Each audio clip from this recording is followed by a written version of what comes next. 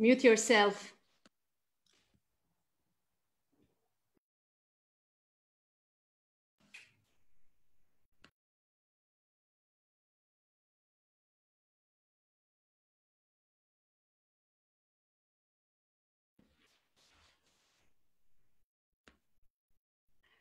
Hello, buonasera. Hello. Dovremmo essere live. Dovremmo essere live e, e dovremmo essere pronti per uh, partire con questo uh, nuovo appuntamento. Io sono Linda Di Pietro, responsabile del programma artistico e culturale di Base, eh, Base Milano, centro culturale ibrido che nasce nel 2016 all'interno degli edifici dell'ex Ansaldo. E, mh, oggi diamo vita a Playground, eh, che è un campo da gioco immaginifico che si concretizzerà da oggi in poi in un ciclo di conversazioni, di percorsi di ricerca, di residenze artistiche, fisiche e eh, di incontri virtuali negli spazi chiusi ma non vuoti di base. È proprio su questo principio dell'essere chiusi forzatamente, ma non voler essere vuoti, che nasce questa riflessione. Saranno tre mesi di um, lavoro sulla comunità, sulla creazione di una comunità di artiste ed artisti, di architette e architetti, di ricercatrici e ricercatori, di lavoratrici e lavoratori della cultura, che saranno le prese con le tante domande che sono alla base del nostro programma futuro. Ci siamo chiesti perché e vi potrete in tanti chiedere perché, perché ci sono tante iniziative su Zoom, perché un'altra, le nostre vite sono già riversate su queste piattaforme. Ebbene, ehm, abbiamo sentito il desiderio di aprire l'istituzione culturale, ehm, di aprire le conversazioni che solitamente teniamo dietro le quinte, di renderle pubbliche, di rendere pubbliche quelle questioni che accompagnano la nascita di un programma culturale, di percorsi che poi abitano fisicamente lo spazio, che poi incontrano fisicamente un pubblico e che troppo spesso nelle istituzioni tradizionali restano chiusi, restano chiusi dietro le porte delle sale prove, restano chiusi dietro le porte delle sale espositive, restano chiusi dietro le quinte. Ecco, eh, per noi è importante in questo momento storico aprire l'istituzione culturale, eh, renderla esposta, in qualche modo anche vulnerabile, eh, e per farlo vogliamo concentrarci su come stiamo lavorando insieme. Insieme intendo insieme come gruppo di lavoro, ma insieme anche con gli artisti eh, e con le tante anime e individualità e gruppi e collettivi che si susseguiranno in questi incontri che, che cominciano oggi. Playground nasce poi da una serie di congiunzioni astrali.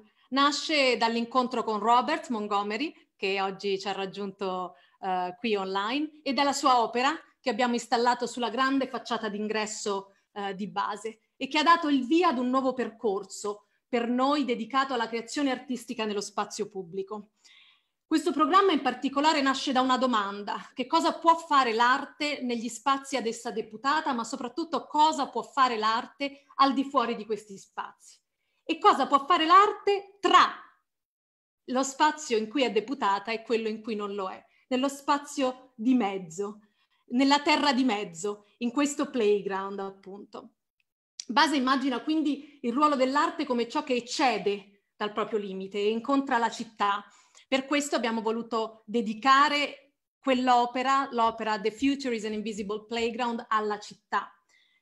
Smargina oltre lo spazio che solitamente la ospita per mettere in luce la complessità del rapporto tra arte e vita quotidiana e ci fa domandare appunto come questa eccezionalità si relaziona con il mondo, con la realtà, con le persone che, che camminano. Uh, le opere che ospiteremo nei prossimi anni avranno quello stesso, um, quella stessa tendenza, cercheranno di abitare lo spazio pubblico passando attraverso l'asfalto, l'intonaco, le finestre che connettono il centro culturale alla città Vorremmo quindi che Base cominciasse a parlare già quando attraversiamo quella soglia, quando affrontiamo il sottopasso, quando entriamo nel cortile, quando abitiamo quegli spazi.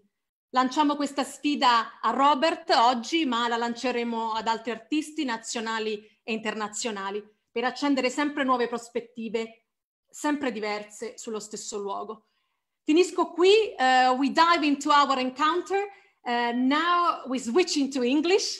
Uh, I hope it's gonna be easy for the audience to follow us.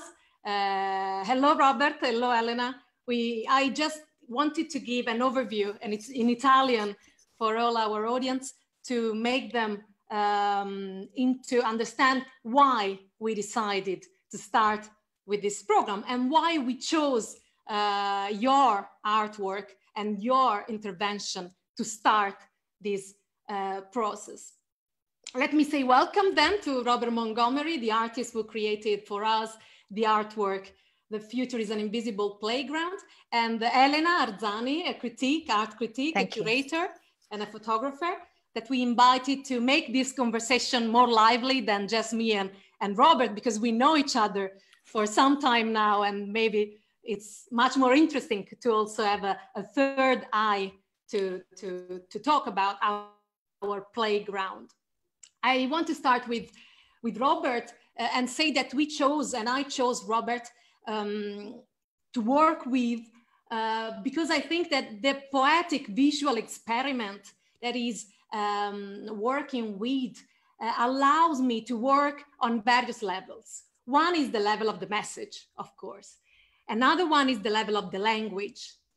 And the third one is the level of the relationship with the surrounding context, with the city, with the public realm. Because while his work is uh, playing with the popularity of uh, the language aphorism, let's say, uh, even if I know Robert is a little bit provoking, uh, it also tries to transport the, the nature of poetry into the public space, which is a romantic nature within a very harsh uh, realm, and uses the contradiction of the medium to do this. So it's also interesting to me that people that are not meant to encounter this uh, piece of art actually bump into it and realizes it looking uh, to the sky, which is something that we don't do anymore. We always look our feet, we always look our uh, mobile phones. So the posture changes and it changes also the way we look at things. So to encounter the work of Robert Montgomery for me has always been a romantic encounter. And I'm very happy to have Robert here. I would love you, Robert, to tell us a little bit more about your artwork, uh, why this artwork for Milano, and to talk about this invisible playground uh, we are all in search of. Thank you, Robert. Hi, guys. Um, thank you for having me, first of all, Linda. Nice to meet you, Elena. Um, fantastic to work with you again, Linda. I loved our first collaboration in Terni, and it's so nice to be together in Milan. I hoped I would be coming to Milano, where I have lots of friends, uh, and be able to see all of my favorite Italians. But in, instead, I'm stuck in England, and that's a shame. But hopefully, I get to come in the springtime. Um, well, I mean, my work in general, the idea of working with outdoor space, exactly as you say. I mean, it's it's to create an accessibility um, outside of the gallery, outside the, of the museum. I started working with outside space in but well i mean i worked i worked in the city um as an art student i i went to art college in edinburgh after i left my mfa i was an artist in residence on the core program at the museum of fine arts in houston and it was a really transformative experience for me i had some of the best american artists as visiting professors like james turrell and uh, Roni Horn and Jack Pierson and artists that I really loved and I came out of that. But I, I, was living essentially. My studio was in the museum. My apartment was next to the museum, and I was part of this wonderful institution, but part of the institution. You know, when I came out of that and moved back to London, I wanted to find a way of reaching the people who don't come to the museum. You know, and actually, I started working with billboard space then, and kind of hijacking billboards for poetry, and you know, because I believe that in in England we call it the man in the street is perfectly capable of understanding contemporary art and poetry. I mean, it's not rocket science, and they can get a really um, you know, a really first-hand engagement with it if it's in public space. So um, I began really intensively working in London with billboards in 2004. And I started a series then called Words in the City at Night. And the idea would be the poems would appear on billboards overnight and you'd see them late at night. And you wouldn't know what the work was. You wouldn't, well, you would think it wasn't advertising because it's too strange to be advertising, but also that the audience wouldn't know it's art. Um, they might think it's the rantings of a madman, and sometimes I'd I'd, I'd use different voices and different tones of voice, um, and just to create that grey area where the audience would encounter the work and they wouldn't really be sure what it is. They wouldn't know if it's art or not. They wouldn't know if it's advertising or not, and they would be kind of have to encounter it for for just the text and for itself. Hi, Robert. Nice to meet you. Um, before we dig into a reflection of your artwork themselves, I'd like um, to make a reflection with you about um, the meaning of the word playground. You may not be aware that the translation in Italian language is quite limited when compared to the British one. In fact, we translate literally playground as the place where you, you can actually play games only. But um, I'd like the public to understand and actually that embrace a wider complexity that um, can be transferred to your work itself. Uh, let's say it's, it's about music, it's about performance and theater, it's about much more than, than what it is in Italian language. Um, yeah, I mean, for me, the work has two lines. It has the title of the piece, which is, and, and then it has the text in the piece. So the title of the piece is The Future is a Risk of Our Hearts. The Future is an Invisible Playground. Um, so actually, it's about, you know, it's about looking the future is a risk of our hearts is about the collective hope we have always to build a better future. Um, you know it's been a tough year for everyone across the world and coming back from the sort of crisis we've had will be like a challenge also an opportunity to rebuild our world in a more ecological way which is a very important part of this opportunity i think. But also um, you know this idea of freedom uh, this idea of being free in the city is an idea that has been really challenged this year because of lockdowns and stuff, and it's been a very difficult um, um, year for people in cities, you know, and and those of us who live in cities, it's been a very great challenge because the things that give us joy and in a way freedom in a city, music, theatre, restaurants, bars, all those things have been kind of you know stopped in their tracks, and so that's been difficult. So in a way it's hoping for that time when the music returns you know and it's hoping for that time when we go to concerts again and we dance all night and we leave the concert with our feet sore and we stumble home in our bare feet in the in the rain smiling. Um so, talking about music i know it's a component that actually inspired your work uh, and uh, that you base the rhythm of your writing on on the same way songs are written lyrics yeah, I think think about that a lot. I mean, I, well, I think I think about the way uh, words are used in music by great lyric writers like Bob Dylan or Leonard Cohen or Joni Mitchell or, or you know those great classic '60s uh, lyricists. Well, the way that the words and the music are combined, I think about that in terms of finding an equivalent way to combine the words and the visual identity of the words, you know? So, of course, my work's related to a tradition of concrete poetry in a way, which goes back to Guillaume Apollinaire in 1910 in Paris when he wrote Alcools, um, the first concrete poems. And then also uh, to a tradition of text art, which the great sort of grandmasters of that are people like Lawrence Weiner and Jenny Holzer. And then with my work, I sort of was fascinated by maybe taking where the text artists of the previous generation got to and saying, okay, you know, where is the space here for a tone of voice that's like poetry, and a tone of voice that's musical or has a musicality to it. Um, yeah. So you're correct for sure.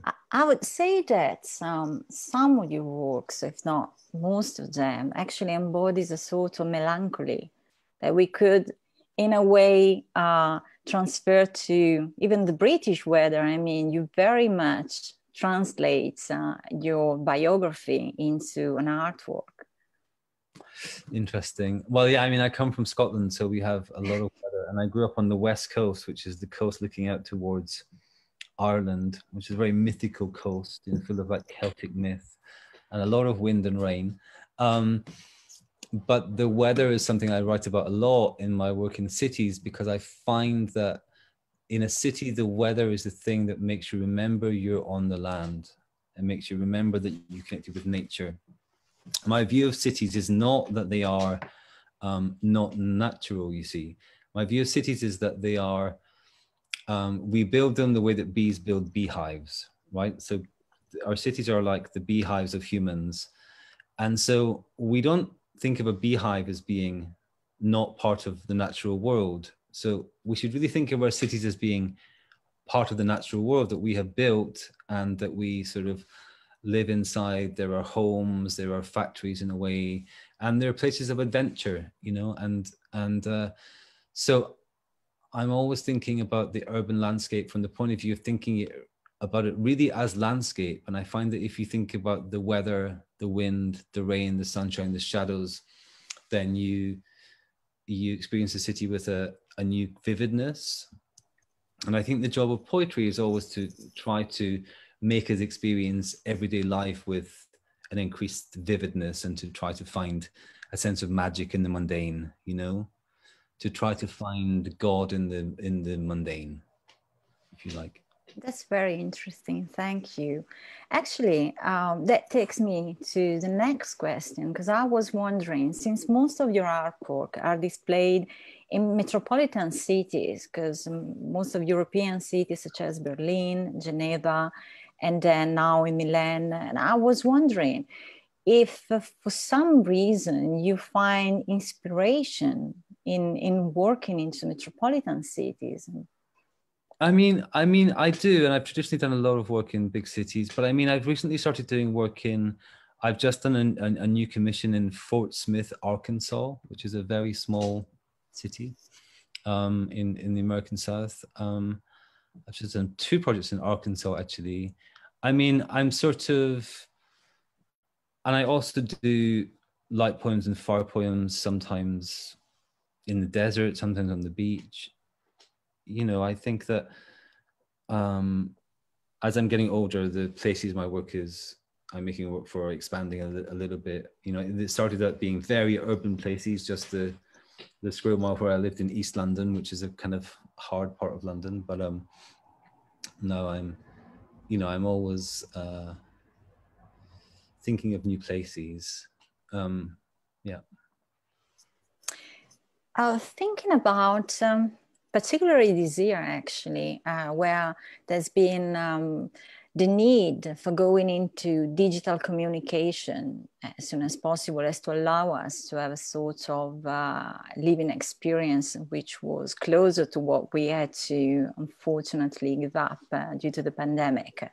So I was wondering, in this kind of scenario where words have become fast consuming, to the point in which when we post something on social next we have to be very much aware of the length of what we are writing. Yeah. so i was wondering do you think that there's still a need or sort of room for poetry? And if so what kind of meaning would have poetry nowadays in your opinion?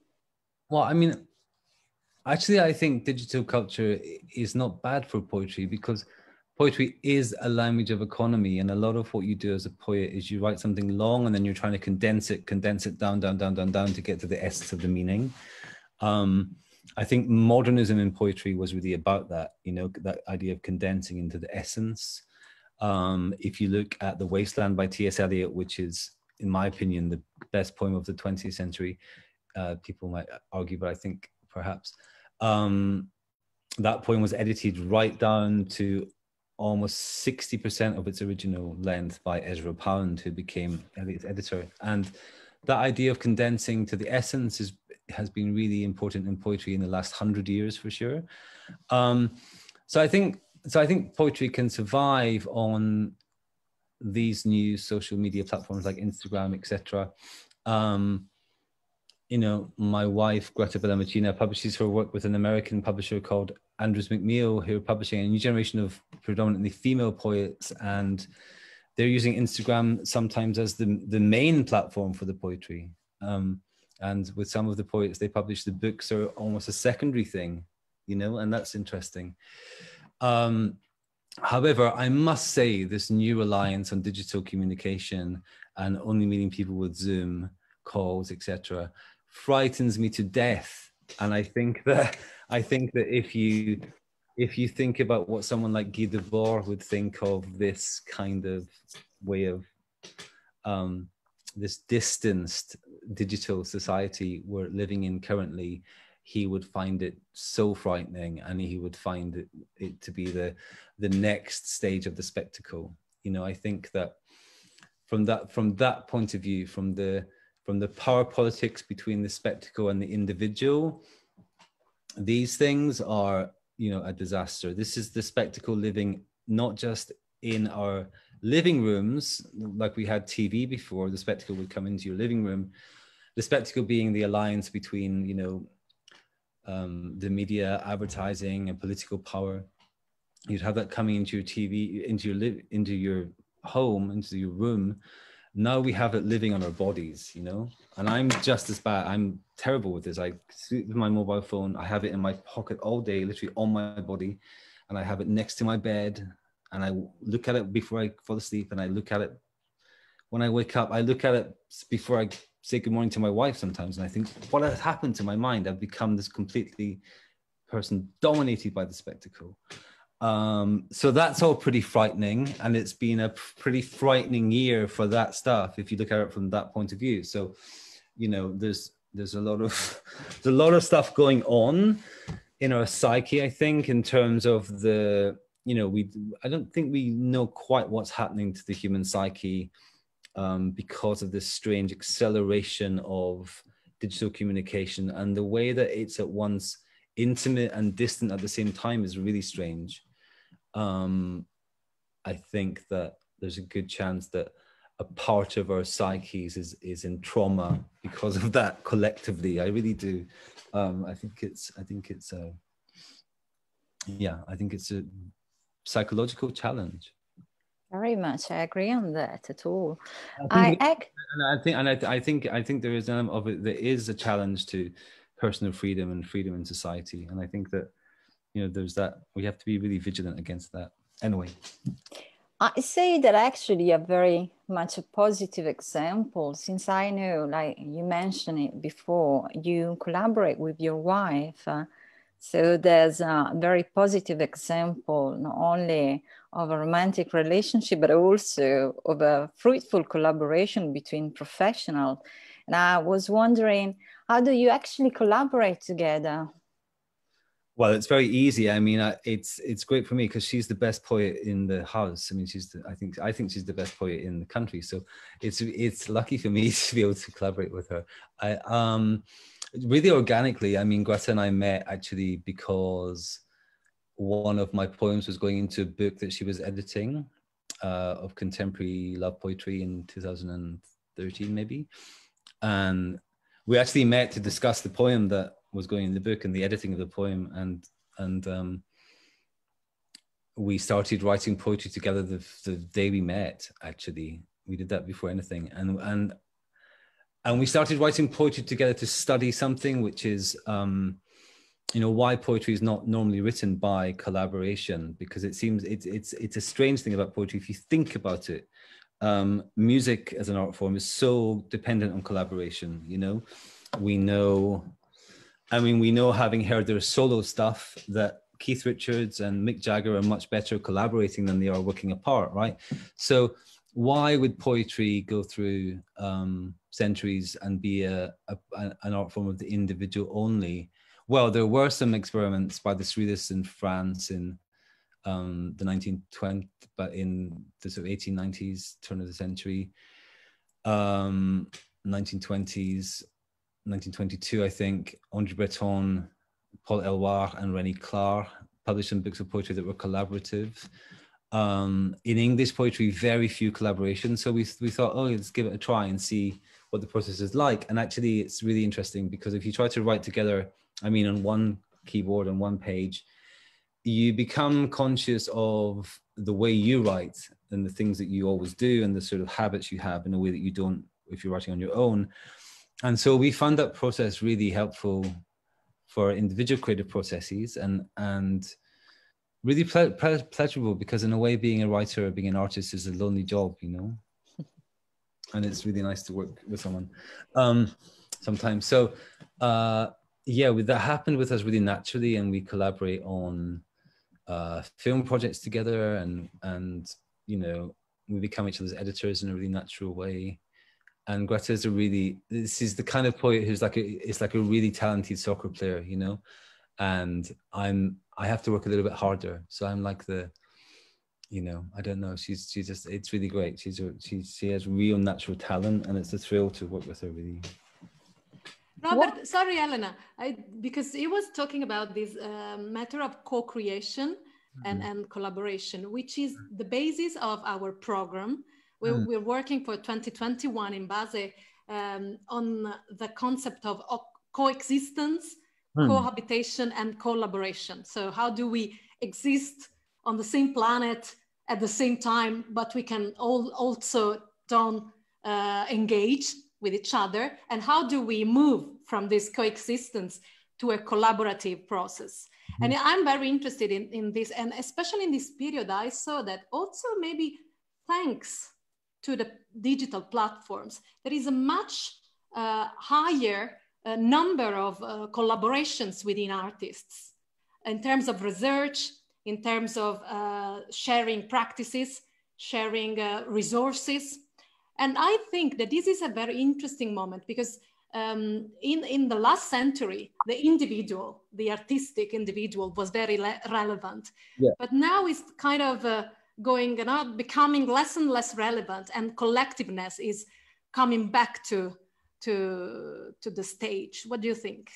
Yeah one thing that Greta and i are doing next year planning and working on right now is is to do direct a feature film where we'll direct it as a collaboration. And actually the two of us and maybe a third person because we want to investigate this idea of the ego of the the director the auteur. I mean i don't I mean, we we have a slight suspicion that that's kind of a fake idea, you know, especially in a medium like film that is really collaboration.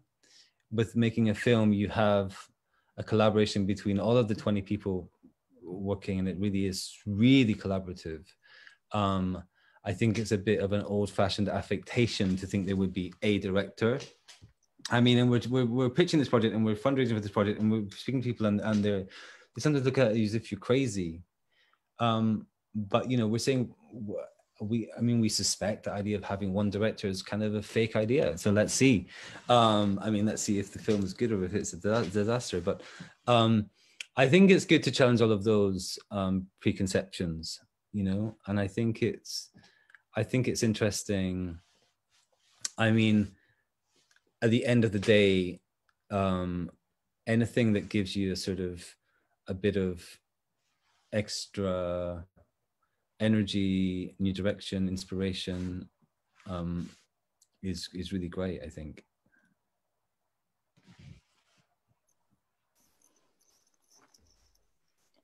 Um, do you have a specific process you you follow when in your art making or in your collaboration with your wife, perhaps? Well, in my art making these days, since it's hard to travel, I get someone, the curator, to send me a photograph of the wall, and then I stare at the wall for two hours, trying to think up some words. Uh, no, I mean, I used to. I mean, I used to. I used to have a, a process of going to a place, um, visiting the site, looking into local history. If it's a, you know, if uh, working, uh, maybe something to do with the history of the religion and society in the place, all of these things. Um, uh, no, I mean, I'm being slightly ironic there. I'm always trying to make the text and the the object or the painting with text or the drawing with text or the light sculpture with text or the billboard with text work as an object um, so that's a slightly hard thing to describe but it but you know the graphic form should be correct for what it says for the length of the words all these things should feel graphically right. And that's something that probably comes from um, the discipline of concrete poetry more than from anything else.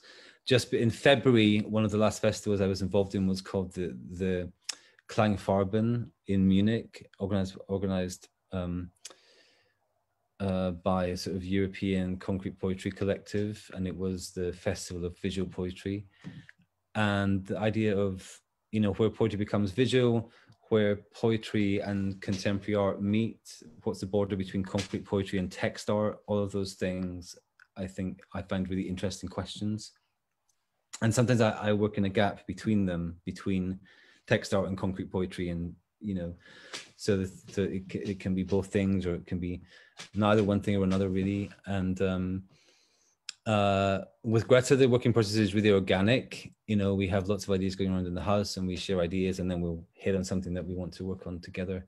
Um, uh, the yeah, I mean does that answer the question? I'm not sure. I thank you for that. Uh, I was wondering, what is the role of the fire in your work? Because I know that you use both lights and, and fire. Yeah, well, the fire is like, this is sort of like from my indigenous culture, right? So uh, in Celtic culture in Scotland and Ireland, before the arrival, let's say, of uh, of Protestant Christianity, so before the Reformation. So in Scotland, that means from before around 1680.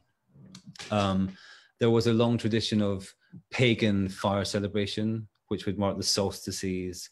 It would, it would mark um, the winter solstice, the spring equinox, the summer solstice, and the autumn equinox. And they were sort of to do with being connected to the rhythm of the land, to do with um, really to do with thanking the old pagan gods for the harvest and the summer. And we had our own god of the sun who was called Lu, spelled L U G H, and he would have a fire festival on August the 1st. Anyway, around 1660, 1670, in Scotland, we had a very hard Reformation, quite a fundamentalist Reformation led by a guy called John Knox. And he was a student of John Calvin in Geneva and he went to Geneva and he came back. Like many disciples, he came back with a, a more hardline version of the Reformation that was happening in Geneva. And he destroyed all the art in the churches. He destroyed all the stained glass windows. He banned music in the churches. He was a Puritan, right? Um, he banned music in the churches. They began to burn innocent women as witches if they were involved in pagan practice, all those things. He banned the fire festivals, which were still happening. Um, so the first fire poem I did was in 2013, and I did it in Edinburgh as part of the Edinburgh Fire Festival, and I did it in the garden of John Knox. So I did it in the garden of the headquarters of the Church of Scotland because I wanted to make a little tiny bit of pagan revenge against the Puritans who had banned the fire festivals. So that was kind of a cheeky part of it, but really to try to reconnect with that kind of idea of solstice celebration, equinox celebration, and being connected with the seasons and the land and the light and the sun and the sun. Um, I'm working on a project for next year with Little Sun, which is a a solar a solar product that Olafur Eliasson designed, which is um, and they're working in developing countries to give people access to solar powered light who don't have access to you know ele- mains electricity and i'm working on an idea with them for the solstice in the summer to raise awareness for, for solar power and its importance ahead of the the cop climate conference in glasgow in november next year. So you know it's tied into that whole idea of connection to the land and the solstice and the equinox and the passing of time. Thank you. And it was really also performative. Uh, I hosted um, Yeah, we did. Do you remember in Terni in 2015? And and what struck me and what um, made me choose the that that that specific work, which, if you remember, was a work around migration. Remember, Europe was a refuge for our hearts. All Europe, all Europe must be everywhere a refuge for the brokenhearted. Uh, yeah, and then England didn't. I mean, yeah. looking back then, I mean, then I was campaigning for England and the UK to take in more refugees from the Middle East because we were taking, we were still taking in so few compared to our European neighbours, and and you know, at that point we never expected the disaster of Brexit, but yeah exactly and and i remember the the strength of the performativity of the action uh, which for me was the most because interesting thing the performativity of the artist uh, in uh, in fight in the fight with the fire now yeah. already yeah. to say when I when I presented you to our uh, CEO and I told them what you did in Interni, they were scared about the fire uh, to to be. And actually, I was scared, but I was also very uh, attracted by the fire. The idea of not having the, the artwork anymore, yeah. to have to have the ashes of the artwork. Yeah, I like the ashes of the artworks too. I think it's ceremonial in a way that's ancient for us. You know, I think lots of indigenous cultures had fire ceremonies as part of their religious practice or their pagan practice. And I think that it brings back those memories. But also, I remember, Linda, that was a very cold and wet night, and it was really hard to get it on fire. and I was standing there in the rain with the thing. And it's, you know, they're not. The weather again. The weather but they are in that sort of Joseph Beuys sense of the word actions. So they're kind of um, they have that slight performance element, and uh, sometimes the action is just trying to make the fire burn in, in the rain, but they always have a slightly different sense of ceremony to them.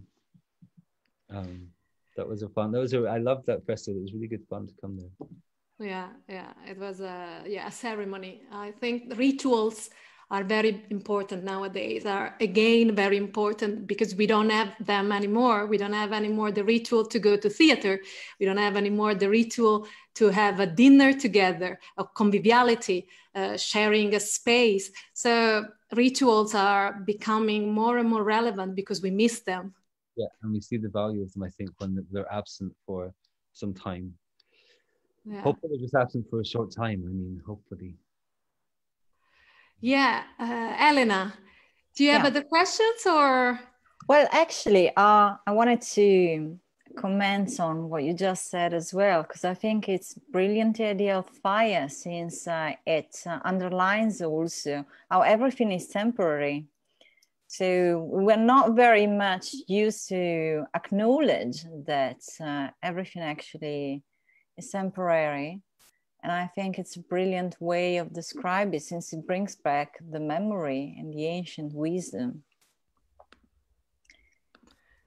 The last question I'd like to ask you is actually if you are already working on something new, if you got plans for the future.